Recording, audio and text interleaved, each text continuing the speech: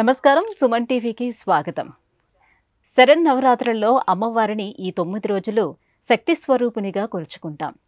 అమ్మవారు ఒక్కో రోజు ఒక్కో రూపంలో భక్తులను అనుగ్రహిస్తుంది. ఈ సందర్భంగా ఈ శరన్నవరాత్రులలో అమ్మవారిని ఏ రకంగా కొలుచుకోవాలి? ఎటువంటి పూజాది కార్యక్రమాలను అవలంబించుకోవాలి? అలాగే అమ్మవారి అవతార వైశిష్ట్యాల గురించి అలంకరణ వైశిష్ట్యాల గురించి తెలియజేసేందుకు మనతో పాటు ఉన్నారు మరకత శ్రీచక్ర శ్రీ విద్యాపీఠ వ్యవస్థాపకులు శ్రీ నాగేశ్వర శర్మ గారు. గురుగారు నమస్కారం అండి. గురుగారు శరన్నవరాత్రిలో భాగంగా ఎనిమిదవ రోజు అమ్మవారిని మహిషాసురమర్దినిగా మనం కొలుచుకుంటాం.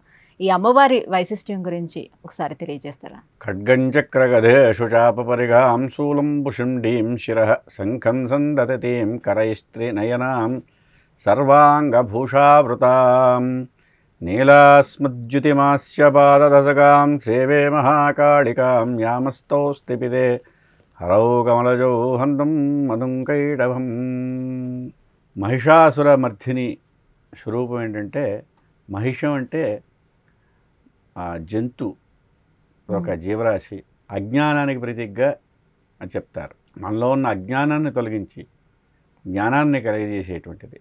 అంటే జంతు లక్షణాన్ని తొలగించడానికి ప్రతీకగా మహిషాసుర మర్ధిని అవతారాన్ని మహిషాసుర మర్ధిని యొక్క దేవతారాధన శరన్నవరాత్రుల్లో భాగంగా చేయడం విశేషమైనటువంటి ఫలితాలని కలగజేస్తుంది అని చెప్పి. అంటే విష్ణుకర్ణమలోద్భూతం హంతం బ్రహ్మాణముజ్యతో అని. చండీ సప్తశతిలో చెప్పబడింది ఏంటంటే ఇద్దరు ఉంటారు రాక్షసులు. వాళ్ళు ఏంటంటే విష్ణు యొక్క చెవి గులిమిలోంచి ఇద్దరు రాక్షసులు జన్మించారట. వాళ్ళు ఏం చేశారంటే విష్ణువు ఒక నాలుగు మాసాలు యోగ నిద్రలో ఉంటారు శ్రీమన్నారాయణుడు. ఆయన నాభి కమలంలోంచి బ్రహ్మగారు ఉద్భవించారు. అది అందరికీ తెలిసినటువంటిదే. ఈ విష్ణువు యొక్క నిద్రా సమయంలో ఆయన యోగ నిద్రలో ఉన్న సమయంలో విష్ణు మహావిష్ణువు యొక్క చెవి గులిములోంచి జన్మించినటువంటి రాక్షసులిద్దరూ కూడా బ్రహ్మగారిని చంపడానికి బయలుదేరారు. విష్ణు కర్ణమలోద్భూతో హంతం బ్రహ్మాండముంచుతో అప్పుడు ఏం చేశారంటే ఇతర దేవతలందరూ కూడా ఇప్పుడు విష్ణువుని నిద్రలేపాలి విష్ణువుని నిద్రలేపితే తప్ప ఈ ఈ రాక్షసులిద్దరి సంహారం జరగదు. ఎందుకంటే ఎప్పుడైనా సరే మన పురాణములన్నీ ఆలోచన యోచన చేస్తే ఎవరెవరో చేసినటువంటి కొన్ని కొన్ని తిక్క తిక్క పనులన్నిటికీ విష్ణువే. మహావిష్ణువు అవతారాలు తీసుకోవడం. దశావతారం విష్ణు యొక్క దశావతారంలో కూడా అలాగే చెప్పబడ్డాయి కనుక అలా విష్ణువే సంహారం చెయ్యాలి. అందుచేత ఏంటంటే ఆయన ధనస్సు మీద ధనస్సుని ఇలా పెట్టుకుని ఇలా నిల్చునే యోగనిద్రలో ఉన్నారు. శ్రీమన్నారాయణ మహావిష్ణువు. ఇప్పుడు ఏంటంటే అవి ఎలాగ లేపాలి మామూలుగా లేపితే కుదరదు. అప్పుడు ఒక తూనీని తుమ్మిదిని పురమాయించారు. నువ్వు వెళ్ళి ఆ ధనస్సు యొక్క వింటి నారిని నీ కొరికితే అప్పుడు విల్లు అనేటువంటిది ఇట్లా వంగి ఉంటుంది కదా ఒకసారి ఇలా అయినప్పుడు అలాగా లేస్తారని. అలాగా ఉద్భవించినటువంటి రాక్షసులు ఎవరు ఉన్నారో వాళ్ళు శుంభని శుంభులు అన్నారన్నమాట. వాళ్ళు ఏంటంటే అమ్మవారి యొక్క సౌందర్యాన్ని. ఎప్పుడైతే ఈ రకంగా ఈ రాక్షసులు జన్మించారో వీని సంహరించాలి అంటే వాళ్ళకు ఉండేటువంటి వరములు. దేవతా వరములు ఏవైతే ఉన్నాయో వాటి ద్వారా ఏ ఒక్కరి ద్వారా కూడా సంహరింపబడినటువంటి వరాల్ని పొందున్నారు.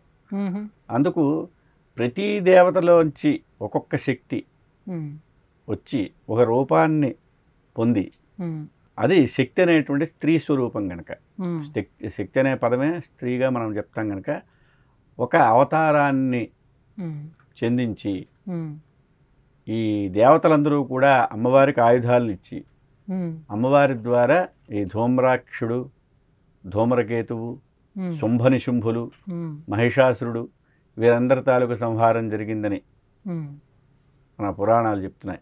దేవి భాగవతంలో చెప్పబడింది కనుక ఆ మహిషాసురుణ్ణి సంహరించాలి అనేటువంటిది ఏదైతే ఉన్నదో ఆ అవతారం అలా వచ్చింది అని శాస్త్రవచనం. అయితే వాళ్ళు ఏంటంటే అమ్మవారి అందరి తాలూకా స్వరూపాన్ని అమ్మవారి తీసుకుంది కాబట్టి ఆవిడ త్రిపుర సుందరి. అంటే త్రిపురములని ఉన్నాయి మూడు పురాలు. ఈ మూడు పురాలకి కూడా ఆవిడ సౌందర్యవతి. అంతకు మించినటువంటి సౌందర్యం కలిగిన వాడు ఎవరూ లేరు. ఆయన చూడగానే మోహించాడు. ఈయన. "నేను వివాహం చేసుకుంటానని చెప్పి. అయితే అమ్మవారు ఏమంటుందంటే నాకు ఒక నియమం ఉందయ్యా. ఓకే నువ్వు చేసుకుందాం అనుకుంటున్నావు మంచి కోరికే. చేసు తప్పేం లేదు. కాకపోతే యోమే జైతి సంగ్రామే తమే భర్త భవిష్యతి అని. ఎవరైతే నన్ను యుద్ధంలో ఓడిస్తారో వారినే వివాహం చేసుకోవాలనేటువంటి ఒక సంకల్పం ఉంది నాకు. అంతే తప్ప నాకు నచ్చో నీకు నచ్చో పెళ్ళి చేసుకోవడం అనేటువంటి వ్యవ వ్యవహారం కుదిరే పరిస్థితి కాదు. అని చెప్పి వీళ్ళిద్దరి మధ్యలో సంవాదం జరుగుతుంది. జరిగినప్పుడు సరే అని చెప్పి వాళ్ళ సేనా నాయకులు వీళ్ళందరినీ వాళ్ళందరినీ ఒక్కొక్కరిని ఒక్కొక్కరిని పంపిస్తుంటే వాళ్ళు ఒక్కొక్కరిని ఒక్క రూపంగా కొందరిని మహాకాళి రూపంలో మహాలక్ష్మి స్వరూపంగా అలాగా సంహరిస్తుంది అన్నమాట చివరగా ఏంటంటే మహిషాసురుడు డైరెక్ట్గా అమ్మవారి ఎదురుగా వచ్చి యుద్ధం చేసినప్పుడు మహిషాసురుణ్ణి సంహరించడం ద్వారా క్రతువు పూర్తవుతుంది. ప్రపంచంలో ఉండేటువంటి రాక్షసత్వాన్ని దుర్మార్గ లక్షణాన్ని సంహరించినటువంటిది శాంతిని భూమండలం మీద శాంతిని నెలకొల్పడం అమ్మవారి తాలూకా ముఖ్య ఉద్దేశం కనుక ఆ కార్యక్రమం జరిగింది. దానికి ప్రతీకగా మనం మహిషాసుర మర్ధిని ఆ రోజున ఆరాధన చేయడం. ఎటువంటి పూజా క్రతువులను ఆచరించాలి అమ్మవారికి ఈరోజు అమ్మవారికి ముఖ్యంగా ఈ బలిహరణ అనేటువంటిది ఉంటుంది. ఉమ్, మహిషాసుర మర్ధినికి కలికాలంలో ఇతరమైనటువంటి జంతు బలులు అనేటువంటి నిషేధింపబడ్డాయి కాబట్టి కోష్మాండబలు అంటారు. కోష్మాండం. లేదా బూడిద గుమ్మడికాయ ఉన్నదో దాన్ని బలి వస్తువుగా వేస్తారు. అలాగే. అన్నబలి.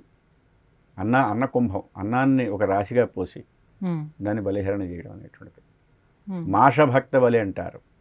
అంటే ఈ మినుగులు మినుగులతో చేయబడినటువంటి పదార్థాన్ని బలిస్వరూపంగా సమర్పించడం. అంటే మనలో ఉండేటువంటి అవలక్షణాలు కానీ దుర్మార్గపు లక్షణాలు రాక్షస లక్షణాలని మనం విడిచిపెడుతున్నాం. బలి. అనేటువంటిది ఏంటంటే ఏదో జంతు సంహారం చేయడమే బలి అనేటువంటిది మన మనకి తెలిసినటువంటిది మనం అనుకుంటున్నటువంటిది. నిజానికి ఏంటంటే శాస్త్ర ప్రమాణం ఏం చెప్తున్నదంటే మనలో ఉన్న అవలక్షణాలని ఆ రోజుతో ఈ శరన్నవరాత్రులు చేసాం ఈ సంవత్సరం. నేను పూజలు చేశానండి మొత్తం తొమ్మిది రోజులు నవరాత్రులు. దీక్షగా నియమ నిబంధనలు గురువుగారు చెప్పినటువంటి విధానాన్ని ఆశ్రయించి చేశాను. సరే బాగుందయ్యా చాలా అద్భుతంగా చేసావు అమ్మవారి అనుగ్రహాన్ని పూర్తిగా పొందావు. ఏంటి అంటే ఇగోనండి ఈ సంవత్సరం నాలో ఉన్న ఈ లక్షణాన్ని విడిచిపెడుతున్నాను. బద్ధకం. నేను రోజు రాత్రి పన్నెండున్నరకు పడుకుంటాను. ఉదయాన్నే ఎనిమిది గంటలకు లేస్తాను. ఈ లక్షణాన్ని విడిచిపెడుతున్నాను. ఉదయాన్నే సూర్యోదయాత్ పూర్వమే లేస్తాను ఎందుకంటే మనం చేసేటువంటి పనులకి తొమ్మిది రకాలైనటువంటి తొమ్మిది సాక్షీభూతంగా ఉన్నాయంటారు. సూర్య సోమ యమక్కాలో మహాభూతాని పంచత ఏతా శుభాశుభాస్యేహ కర్మణో నవసాక్షిణ.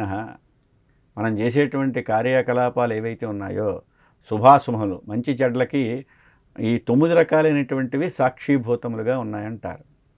సూర్యస్వామ సూర్యుడు చంద్రుడు యముడు కాలం పంచభూతాలు అన్నిటి కలిపి తొమ్మిది. ఇవన్నీ కూడా కర్మసాక్షులుగా ఉన్నాయి కనుక సూర్యోదయాత్ పూర్వమే సూర్యుడు ఉదయించక పూర్వమే మనం మేలుకాంచి అంటే లేవడం ద్వారా మాత్రమే మంచి సత్ఫలితాలు కలుగుతాయి అని. ఉమ్, ఇప్పుడు ఏవైతే కొత్త కొత్తగా ఇప్పుడు చెప్తున్నటువంటి సైన్స్ అనుకోండి ఇంకోటి అభివృద్ధి చెందినటువంటి వాళ్ళు కూడా చెప్తున్నది ఏంటంటే సూర్యోదయం కన్నా ముందే లేవండి అయ్యా ఉమ్, రాత్రి భోజనం ఏదైతే ఉన్నదో లాస్ట్ మీల్ అనేటువంటిది ఏదైతే ఉన్నదో సూర్యాస్తమయం కన్నా ముందే తినండి. జఠరాగ్ని లోపల ఉండేటువంటి జఠరాగ్ని ఏదైతే ఉందో సూర్యుడు ఉన్నప్పుడు మాత్రమే సూర్యోదయ సూర్యాస్తమయం లోపల మాత్రమే అది పనిచేస్తుంది బాగాను. అగ్ని జఠరాగ్ని అనేటువంటిది. మన సంస్కృతి సంప్రదాయాలు అందరూ పాటిస్తున్నారు ఇప్పుడు. పాటిస్తున్నారు. కనుక అలాంటిది ఏవైనా మన లక్షణాన్ని అవలక్షణాన్ని. చెడుగా ఒకళ్ళ గురించి చెడుగా మాట్లాడేటువంటి ఒక లక్షణాన్ని వదులుకున్నాను. కోపం ప్రతిదానికి ఊరికే చిరాగ్గా కోపంగా కోపం వస్తూ ఉంటుంది. ఈ సంవత్సరం నా శరణవరాత్రులు అమ్మవారి పాదాల దగ్గర నాలో ఉండే అహంకారాన్ని బలిస్తున్నాను. నా కోపాన్ని బలిస్తున్నాను. అనేటువంటి బలి ఇవ్వడం. ఇది అంటే విశేషంగా చెప్పుకునేది. జరిగే పూజా విధానంలో బలిహరణ అనేటువంటిది జరుగుతుంది. గురుగారు మరి దేశ విదేశాల్లో ఉన్న వాళ్ళంతా కూడా ఎవరైతే అమ్మవారి భక్తులు ఉన్నారో వాళ్ళు ఇంట్లోనే ఈ పూజా క్రతువులన్నీ ఆచరించుకోలేని పరిస్థితుల్లో అమ్మవారి అనుగ్రహం కోసం ఏం చేయొచ్చు అంటారు శ్రీశక్తి మహోత్సవం శరన్నవరాత్రి వైభవం అని చెప్పి కైతలాపూర్ కుకటిపల్లిలో ఈ అమ్మవారి యొక్క నవరాత్రులు విశేషంగా చేస్తున్నారు. విశేషమైన పూజా కార్యక్రమాలన్నీ క్రతులన్నీ జరుగుతున్నాయి. అక్కడ ఎవరైతే వాళ్ళ నామగోత్రాన్ని నమోదు చేయించుకుని పూజా రుసుము రుసుమును చెల్లిస్తారో అమ్మవారి యొక్క అనుగ్రహాన్ని పొందడానికి వాళ్ళు విశేష కార్యక్రమాలు చెప్ చేయిస్తున్నారు. అలాగే ఇందులో నిత్యం నవదుర్గల యొక్క అర్చన షోడశ విధానాలుగా పదహారు రకాలైనటువంటి ఉపచారాలు అభిషేకాదులు కుంకుమార్చనలు సహస్రనామార్చన చండీ సప్తశతి పారాయణ హోమాలు ఆదిత్యాది నవగ్రహాలకి సంబంధించిన దోష నివృత్తికై వాటికి సంబంధించిన పూజలు. అలాగే లలితా పరమేశ్వరి ఆరాధన విశేషంగా శ్రీచక్ర రూపంలో నవావరణ అర్చనగా కూడా జరుగుతున్నది. కనుక ఎవరైతే ఈ శ్రీశక్తి మహోత్సవంలో పాల్గొంటారో వారికి దుర్గాదేవి యొక్క పరిపూర్ణ అనుగ్రహం కలుగుతుంది. గురువుగారు ఎనిమిదవ రోజు మహిషాసురమర్దిని అవతార వైశిష్ట్యం గురించి తెలియజేసినందుకు ధన్యవాదాలు. చూశారు కదండి? గురువుగారు చెప్పినట్టు మీ కుటుంబం కూడా సుఖ సంపదలతో వర్ధిల్లాలి అనంటే శ్రీశక్తి మహోత్సవ శరన్నవరాత్రి ఉత్సవాల్లో పాలు పంచుకోండి. ఈ ఉత్సవాల్లో భాగం కావాలంటే కింద స్క్రోల్ అవుతున్న నెంబర్కి కాల్ చేసి మీ పేరు నమోదు చేసుకుని అమ్మవారి అనుగ్రహానికి పాత్రలు కండి.